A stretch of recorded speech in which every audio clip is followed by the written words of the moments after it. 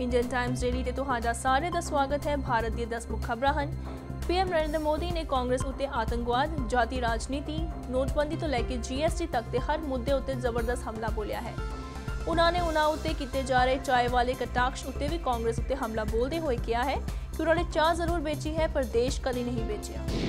ਆਮ Aadmi party ਨੂੰ income tax department ਦੇ ਵੱਲੋਂ ਭੇਜੇ ਗਏ 30.67 ਕਰੋੜ ਦੀ ਨੋਟਿਸ ਨੇ ਇੱਕ ਰਾਜਨੀਤਿਕ ਵਿਵਾਦ ਖੜਾ ਕਰ ਦਿੱਤਾ ਹੈ। ਪਾਰਟੀ ਨੇ ਇਸ ਨੂੰ ਬਕਵਾਸ ਅਤੇ ਮੋਦੀ ਸਰਕਾਰ ਦੀ ਏਜੰਸੀਜ਼ ਦੁਆਰਾ ਰਾਜਨੀਤਿਕ ਪ੍ਰਤੀਸ਼ੋਧ ਦੀ ਸੰਖਿਆ ਦਿੱਤੀ ਹੈ। ਹਾਲਾਂਕਿ ਕਾਂਗਰਸ ਅਤੇ ਬੀਜੇਪੀ ਨੇ ਉਨ੍ਹਾਂ ਨੂੰ ਇਸ ਮੁੱਦੇ ਤੋਂ ਸਾਫ਼ ਬਾਹਰ ਆਉਣ ਨੂੰ ਕਿਹਾ ਹੈ। ਕੇਂਦਰ ਨੇ 8 ਵੀਆਈਪੀਸ ਦੀ ਸੁਰੱਖਿਆ ਵਿੱਚ ਕਟੌਤੀ ਕਰ ਦਿੱਤੀ ਹੈ, ਜਿਸ ਵਿੱਚ ਲਾਲੂ ਪ੍ਰਸਾਦ ਯਾਦਵ ਅਤੇ ਬਿਹਾਰ ਦੇ ਦੋ ਹੋਰ ਸੀਨੀਅਰ ਨੇਤਾ ਸ਼ਾਮਿਲ ਹਨ। ਹੁਣ ਯਾਦਵ ਨੂੰ ਸੀਆਰਪੀਐਫ ਦੇ ਸਿਰਫ 35 ਕਮਾਂਡੋ ਹੀ ਮਿਲਣਗੇ।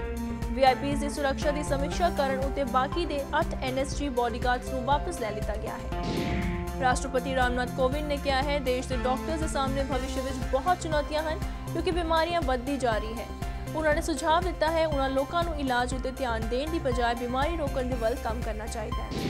ਦਸੰਬਰ ਵਿੱਚ ਗੁਜਰਾਤ ਚੁਣਾਵ ਦੇ ਬਾਅਦ ਕੇਂਦਰ ਮੰਤਰੀ ਸ਼ਰਦ ਯਾਦਵ ਦੀ ਅਗਵਾਈ ਵਿੱਚ ਇੱਕ ਨਵੀਂ ਪਾਰਟੀ ਦੀ ਘੋਸ਼ਣਾ ਕੀਤੀ ਜਾਵੇਗੀ।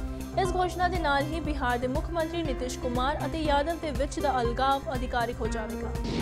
ਸੁਪਰੀਮ ਕੋਰਟ ਨੇ ਅਖਿਲਾ ਯਾਨੀ ਹਾਦੀਆਂ ਨੂੰ ਤਮਿਲਨਾਡੂ ਵਿੱਚ ਆਪਣੀ ਪੜ੍ਹਾਈ ਜਾਰੀ ਰੱਖਣ ਦੇ ਲਈ ਭੇਜ ਦਿੱਤਾ ਹੈ, ਜੋ ਕਿ ਕੇਰਲ ਦੇ ਲਵ ਜਿਹਾਦ ਮਾਮਲੇ ਦੀ ਛਵੀ ਬਣ ਗਈ ਹੈ। ਹਾਦੀਆਂ ਤੋਂ ਇੱਕ ਮੁਸਲਮਾਨ ਮੁੰਡੇ ਨਾਲ ਹੋਈ ਉਸ ਦੇ ਵਿਆਹ ਉੱਤੇ ਉਸ ਦੇ ਵਿਚਾਰ ਪੁੱਛੇ ਗਏ ਸਨ। ਉਸ ਦੇ ਮਾਪੇ ਨੇ ਇਲਜ਼ਾਮ ਲਗਾਇਆ ਸੀ ਕਿ ਉਸ ਦਾ ਜ਼ਬਰਦਸਤੀ ਧਰਮ ਪਰਿਵਰਤਨ ਕਰਾਇਆ ਗਿਆ ਹੈ। ਪੱਛਮੀ ਬੰਗਾਲ ਦੇ ਹੁਗਲੀ ਇਲਾਕੇ ਵਿੱਚ ਇੱਕ ਕਚਰੇ ਦੇ ਡਿੱਬੇ ਦੇ ਕੋਲ ਕਰੀਬ 200 ਵੋਟਰ ਆਈਡੀ ਸੁੱਟੇ ਪਾਏ ਗਏ ਹਨ। ਉਹਨਾਂ ਨੂੰ ਤਫਤੀਸ਼ ਦੇ ਲਈ ਸਥਾਨੀ ਪੁਲਿਸ ਦੇ ਹਵਾਲੇ ਕਰ ਦਿੱਤਾ ਗਿਆ ਹੈ। ਮਹਾਰਾਸ਼ਟਰ ਦੇ ਗੜਚਿਰੋਲੀ ਜ਼ਿਲ੍ਹੇ ਵਿੱਚ ਮਾਓਵਾਦੀਆਂ ਦੁਆਰਾ ਸੁਰੱਖਿਆ ਬਲਾਂ ਉਤੇ ਗੋਲੀਆਂ ਚਲਾਉਣ ਦੀ ਵਜ੍ਹਾ ਤੋਂ ਸੀਆਰਪੀਐਫ ਦਾ ਇੱਕ ਕਾਂਸਟੇਬਲ ਮਾਰਿਆ ਗਿਆ ਅਤੇ ਉਸਦੇ ਦੋ ਸਾਥੀ ਘਾਇਲ ਹੋ ਗਏ। ਇੱਕ ਇਲਾਕੇ ਵਿੱਚ ਖੋਜ ਅਭਿਆਨ ਚਲਾ ਰਹੇ ਸੀਆਰਪੀਐਫ ਦੀ ਯੂਨਿਟ ਅਤੇ ਮਹਾਰਾਸ਼ਟਰ ਦੀ ਪੁਲਿਸ ਅਤੇ ਮਾਓਵਾਦੀਆਂ ਨੇ ਹਮਲਾ ਕਰ ਦਿੱਤਾ ਸੀ। ਸੋਮਵਾਰ ਨੂੰ ਭਾਰਤ ਨੇ ਸ਼੍ਰੀਲੰਕਾ ਨੂੰ ਪਾਰੀ ਅਤੇ 239 ਰਨਾਂ ਨਾਲ ਹਰਾ ਕੇ ਨਾਗਪੁਰ ਵਿੱਚ ਹੋਏ ਦੂਜੇ ਟੈਸਟ ਮੈਚ ਵਿੱਚ ਜੀਤ ਦਰਜ ਕਰ ਲਈ ਭਾਰਤ ਨੇ ਸ਼੍ਰੀਲੰਕਾ ਨੂੰ ਉਹਨਾਂ ਦੀ ਦੂਜੀ ਪਾਰੀ ਵਿੱਚ 49.3 ਓਵਰਾਂ ਵਿੱਚ ਚੌਥੇ ਦਿਨ ਲੰਚ ਤੋਂ ਪਹਿਲਾਂ ਹੀ 166 ਰਨਾਂ ਉੱਤੇ ਸਮੇਟ ਦਿੱਤਾ। ਐਕਟਰ ਸਨੀ ਲਿਓਨੀ ਅਤੇ ਉਹਨਾਂ ਦੇ ਪਤੀ ਡੈਨੀਅਲ ਵੈਬਰ ਨੇ ਸਾਰਿਆਂ ਤੋਂ ਅਨੁਰੋਧ ਕੀਤਾ ਹੈ ਕਿ ਕ੍ਰੂਐਲਟੀ ਫ੍ਰੀ ਫੈਸ਼ਨ ਵੇਅਰ ਨੂੰ ਪ੍ਰੋਤਸਾਹਿਤ ਕਰਨ। ਸਨੀ ਨੂੰ 2016 ਵਿੱਚ PETA's person of the year ਘੋਸ਼ਿਤ ਕੀਤਾ ਗਿਆ ਸੀ ਅਤੇ ਉਹਨਾਂ ਨੇ ਆਰਗੇਨਾਈਜੇਸ਼ਨ ਦੇ ਪ੍ਰੋ ਵੈਜੀਟੇਰੀਅਨ ਅਤੇ ਡੌਗ ਐਂਡ ਕੈਟ ਸਟਰਲਾਈਜੇਸ਼ਨ ਅਭਿਆਨ ਵਿੱਚ ਕੰਮ ਵੀ ਕੀਤਾ ਸੀ।